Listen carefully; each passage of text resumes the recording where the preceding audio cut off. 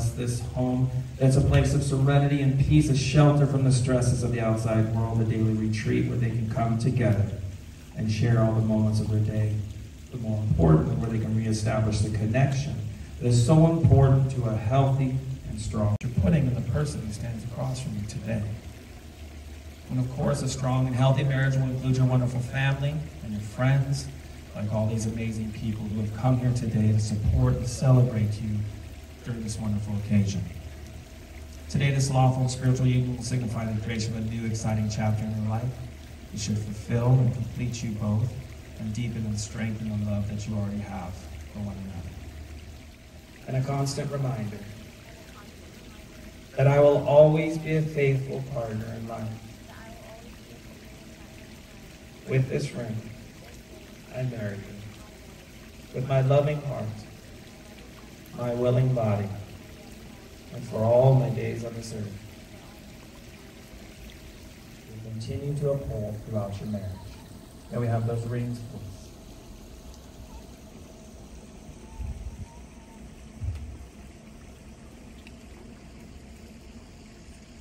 Common objectives. And it's doing things for each other, big and small. Not an attitude of do your sacrifice, but in the spirit of joy and happiness. May you catch on earth what is promised in heaven. The love that you deserved yesterday, the love you deserve today, and the love that you deserve for your entire lives. Amen. As we come to the close of the ceremony today, I'd like to leave you just a few final words of wisdom. But right before we do that, I'd like to call up Candy and Tyler to place the unity cord across our couple as we close the ceremony and they say their I do's.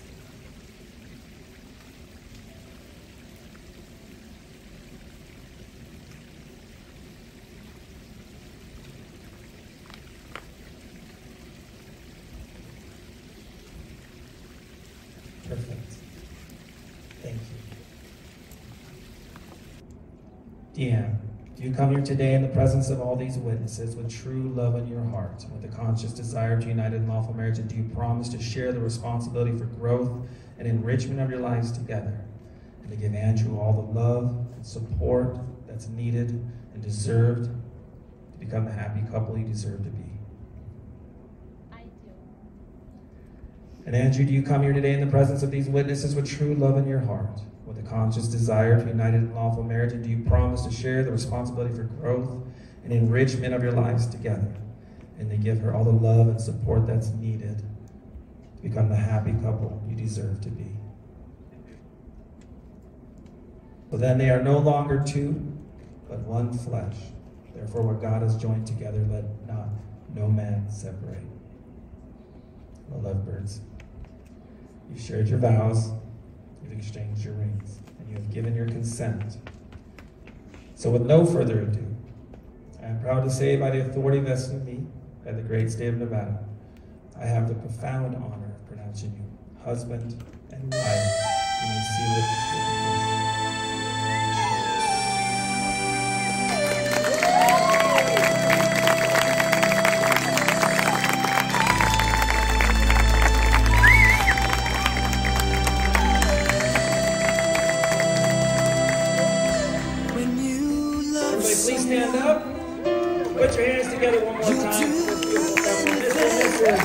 Andrew, Indiana, Scotland.